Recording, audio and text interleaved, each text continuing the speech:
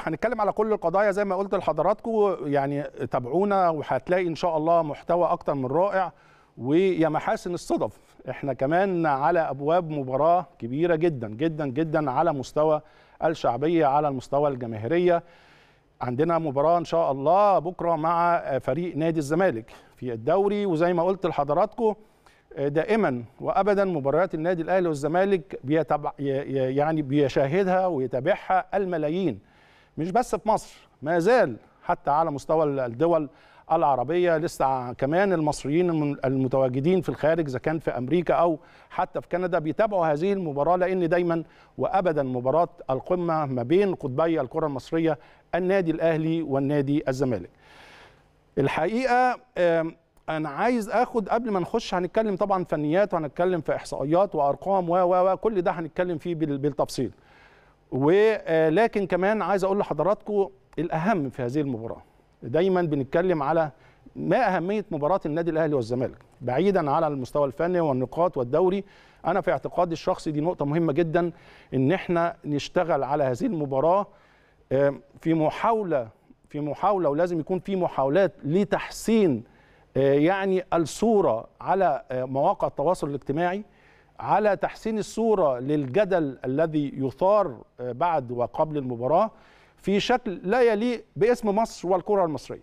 خلينا نتكلم بكل أمانة ال social media ودايما يقول لك الترند دايما موضوع الترند واخد مع من خلال ال social media بياخد وأول ما تسمع كلمة الترند ده تقول يا لا ده ترند ده الراجل عامل حاجة سلبية عشان يتكلم عليها وعشان يعمل فرقعة وعشان الناس تخش و و و إحنا إن شاء الله هنا في المحترف في الدوري المصري هنعمل ترند إيجابي ترند بطرح القضايا زي ما قلت لحضراتكم وهنبدأ من مباراة النادي الأهلي والزمالك. أه هنتكلم فنيا زي ما قلت لحضراتكم ولكن الأهم المسؤولية الكبرى التي تقع على عاتقي القطبين سواء على المستوى الإداري على المستوى الفني وعلى مستوى الجماهير. على مستوى الإداري مجالس الإدارة لازم تحترم هذا اللقاء بشدة ويكون تنافس قروي بشكل يليق باسم الناديين وباسم مصر. على مستوى الإدارة الفنية هي يعني مباراة مبارزة ما بين إدارة فنية في النادي الأهلي ونادي الزمالك بيحترموا بعض بشكل جيد جدا ونفسي يحصل حاجة يا جماعة.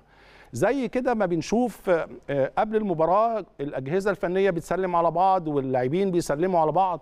واجب جدا جدا كمان إن يكون بعد المباراة هذه اللقطة. أنا دايما بتكلم على الصور التي بتدي رسائل للجماهير لأن دور الجماهير مهم جدا جدا. اتكلمت على الإدارة اتكلمت على الإدارة الفنية كمان على مستوى اللاعبين.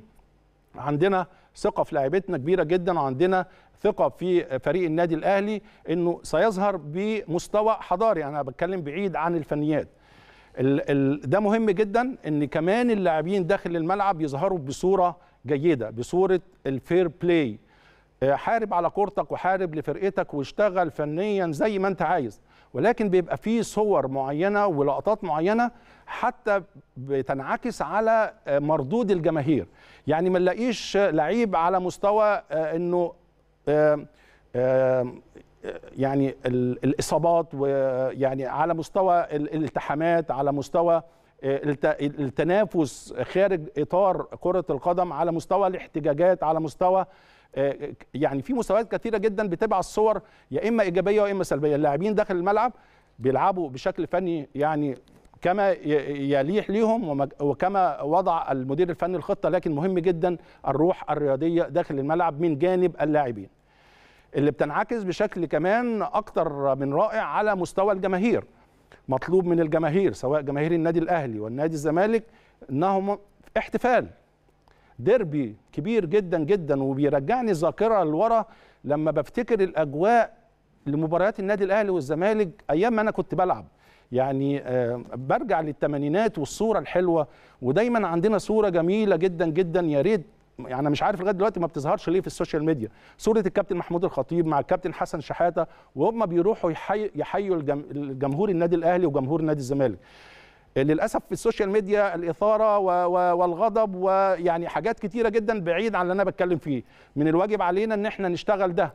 الجماهير آه، عليها دور كبير جدا جدا. شجع فرقتك زي ما أنت عايز آه، بصوت عالي بشكل أكتر من رائع بدخلات جذابة ولكن على مستوى الالتزام واحترام المنافس. مهم جدا الكلام ده.